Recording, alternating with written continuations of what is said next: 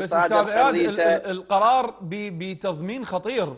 تحدث عن الانتهاكات تحدث عن القفز على الدستور ما يخص بإهانة كرامة الإنسان وعدم احترامه بالمادة 37 و 38 وأيضا نص المادة آه، الدستورية اللي 14 اللي تتحدث أيضا عن باب الحريات والحقوق عن إنه أكو محاكم خاصة أكو هيئة تحقيقية خارج القانون أكو قفز على صلاحيات المحاكم اكو تداخل من السلطة التنفيذية بالسلطة القضائية. شو شو بقى بيها؟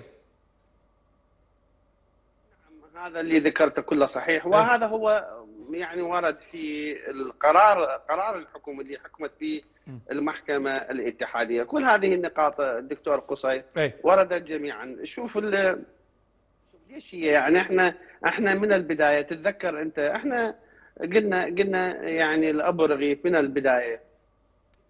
أنت هاي الأعمال هاي الانتهاكات هاي الفظائع اللي ارتكبتها كلها مخالفة للدستور، الدستور بالمادة 37 اولا سواء آه، أليف باء جيم ضمن حرية الإنسان ضمن نعم. حرية الإنسان وضمن آه، ضمن آه، يعني كرامته وأيضا حرم جميع أنواع التعذيب و حرم توقيفه بدون أمر قضائي اذا كل هاي الأمور آه، دكتور هذه تضمنتها المادة 37 اولا من الدستور العراقي. هاي كلها كلها آه، يعني لجنة ابو رغيف انتهكت انتهكت هذه ال ال آه، يعني انتهكت هذه طيب أستاذ يجي يجي سؤال هنا.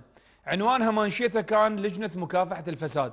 هل كانت لجنة لمكافحة الفساد أم ماذا؟ ماذا كافحت هذه اللجنة؟ كانت أنا أطلقت عليها لجنة مكافحة حقوق الإنسان لجنة مكافحة كرامة الإنسان حرية الإنسان هذه اللجنة هذه اللجنة لا علاقة لها بالفساد إطلاقا لا من بعيد ولا من قريب ولم تحارب فساد قط بل هي كانت أس الفساد هذه اللجنة هي كانت لجنة للابتزاز آه، ولجنة لإهانة ولمصادرة حريات الناس وكرامتهم وحقوقهم المدنية اللي أقرها الدستور. ما كانت أبدا في يوم من الأيام لجنة لمكافحة الفساد. ولو كانت هذه اللجنة فعلا وحقا هي من يعني جاءت لمحاربة الفساد لوقفنا جميعا ودعمنا جهود هذه اللجنة. لكنه هذه هذا الكلام آه، أنا أسألك وأنا هذا الموضوع تحدثت فيه في أكثر من قناة فضائية وأمس يوم أمس أنا في أكثر من قناة فضائية ذكرت مع آه، الأخوة ومع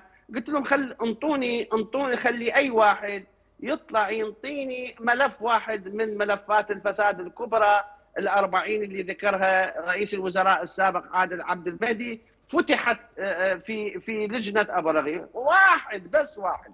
ملف واحد من هذه الملفات الأربعين اللي اللي اللي, اللي آه ذكرها رئيس الوزراء السابق أمام مجلس النواب العراقي. هذه اللجنه هذه التسميه بس يعني إطلاق عليها بس هي الحقيقة كانت لجنة للابتزاز ليس إلا.